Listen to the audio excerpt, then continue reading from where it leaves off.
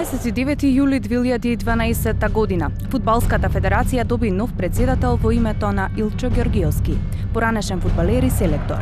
И до овде е добра биографија и добар почеток. Но за жал со неговото доаѓање почнува и периодот на најголемиот пат на фудбалот во земјава. Македонија паднала за 36 места за 4 години, Во јули 2012 година, кога Георгиевски доаѓа како председател на ФФМ, земјава била на 103-тото место. Само 4 години подоцна паѓа на 139-тото место. Тежината нивна е функцијата што ја имат председател или селектор на репрезентација. Меѓутоа, резултатите се очени. Значи, што би било, например, јас како тренер да 10 такмици за ред да губам, и сега уште да седам на позиција. Но Илчо Георгиевски ни одалеку не помислува да даде оставка. И покрај падот за скоро 40 места, тој предлага стратешки планови за наредните 5 и 10 години на македонскиот фудбал. Тоа е, тоа е, тоа е абсурд. И сега видите, шансата да добие 10 години ја барат човек или екипа која што у претходниве 4 години направиле такви катастрофални состојби. Тоа е толку нелогично, нелогично е многу благ збор да кажам е малку погрубо надвор од памет. Но со падот на ранг листите не е единствениот проблем со кој се соочува фудбалската федерација. Забелешки има и за самиот избор на Георгиевски. Постојат сомненија дека е сторен фалсификат, а фалсификатот е кривично дело. Фалсификување на исправа. И не може некој да оствари а, некое право при тоа да фалсификуваат исправа, да, да фалсификуваат списи. Разбирате, и тука беше криминалот и ние на тоа укажувавме. Зада најголемата, најголемиот основ за сомнение дека е тоа криминал беше тоа што изјавата подпишана од господинот Драги Митковски, која што стои некој си печат од нотар, каде што не се читат кој нотар, Од неодамна 26 од присутните 86 делегати на собранието за избор на Георгиевски за председател пред фудбалските тела на ФИФА и УЕФА поднеле нотарски изјави дека врз нив е вршен политички притисок. Велат ова е најстрого забрането од правилата на овие меѓународни организации. Одредени членови беа и повикувани во кабинетот на министерот Милијан Акиевски, кој што наводно бил задолжен да ја следи и да, да ја координира целата работа околу изборот на на е, за, на председател на Фудбалската федерација, попознато име на 6 до 7 членови таму беа присутни кога настана вербална расправа помеѓу мене и министерот Милена Киевски кај негово кабинет. Значи, стојат основани сомненија, односно основани сомненија, стојат податоци и јас располагам со тие докази дека врз председателот Хари, врз одредени делегати на собранието и така натака и така натака, значи директно се врши притисоци од страна на Кире Божиновски, од Мартин Протуџер, од Лјупчо Тодоровски, од Горан Трајковски кој што беше директор на управата за јавни приходи и така натака и така натака. Упатените велат дека постојат индиции за блискост на експремиерот и лидер на ВМРО ДПМН Никола Груевски и Илчо Георгиевски. Тие двајцата се родени во 1971 година и заедно пораснале на улицата Социјалистичка Зора, сега применувана во Христо Батанчиево во населбата Јорже Петров.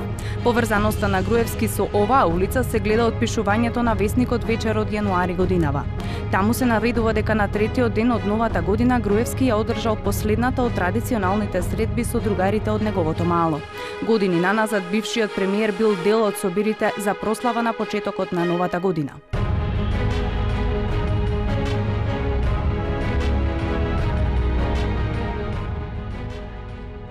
За политичките притисоци врз челниците на македонскиот фудбал се дозна и од бомбите кои ги објави опозицијата.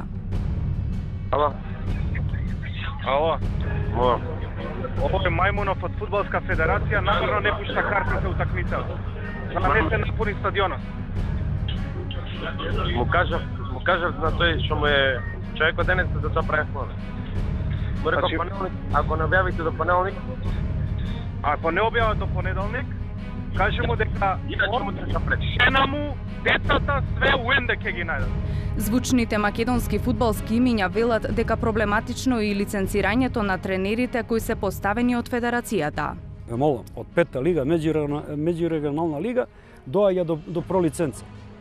Нема теорија да ги исполнува критериумите.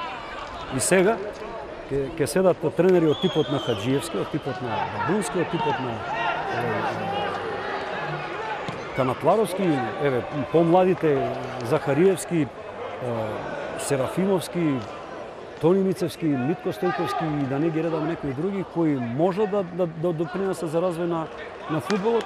Е нас работата овој некој што играл во Шишево, да не извинат овој што го спомнам Шишево или Илинден овој од, од Илинден. Политиката и нелегалните активности според познавачите на фудбалските прилики се длабоко навлезени во ФФМ. Велат, освен дискутабилниот избор, со името на Георгиевски се поврзуваат и други сомнежи за неправилности за публикувалните да, во, на, во центарот Петар Милошевски, од фудбалскиот центар Петар Милошевски веднаш до е, седиштето на фудбалската федерација. Значи само за публикувалните надвор трибини, надвор е, тревната подлога и така натака и така натака потрошени се милиони 800 илјади евра. За објект помало од 500 квадрати, каде што ако земите дека тој објект со градежна цена од 500 евра по метар квадрат, не би надминал 250.000 евра или 500.000 евра. Но да потрошите милиони и 800.000 евра. По злато да беше тој објект, немаше да кошта толку. Ѓурчевски тврди дека надзорните работи околу овој центар се вршени од блиски роднини на председателот Ѓорѓиовски. Ревизијата, ревизијата на овие градежни работи кои што ги се изведуваат во фудбалската федерација, според нашите информации, ја врши фирма на шурата на господинот Ѓорѓиевски, Андреј Просеников. Дополнителни сомнежи за неправилности има и во извршувањето на градежните работи на фудбалските стадиони. Тој работата за изградба на дел од стадионите во земјава наводно ја доделува на фирмата ЗРД МК Инженеринг од Скопје. Во оваа фирма Георгиевски се јавува како коосновач заедно со уште три лица од Турција. Излегува дека председателот Илчо Ѓорѓиевски самиот на себе си, си доделуваат градежни работи каде што инвеститор е фудбалската федерација на, на која што тој е преседател. Разбирате? И скора на тоа за надзорен орган, за надзорен орган ја именуваат фирмата во која што основач е неговиот шура Андреј Прасинов. Тоа е конфликтот на интереси од невидени размери. Спорна за познавачите на состојбите и платата на председателот на ФФМ Илчо Ѓоргиевски. Господинот Илчо Ѓоргиевски во 2015 година сам на себе си подпишува договори се вработуваат во фудбалската федерација со плата од 250.000 денари. Тоа се околу 4.000 евра. Месечна плата. Дали тука лежи одговорот за големиот пат на македонскиот фудбал? Репутацијата на македонскиот фудбал беше предмет на подсмев и во европските и светските фудбалски кругови и при изборот на последниот председател на ФИФА Джани Инфантино. Тој целосно ги игнорираше обидите на Илчо Георгиевски да му честита за изборот за председател на ФИФА.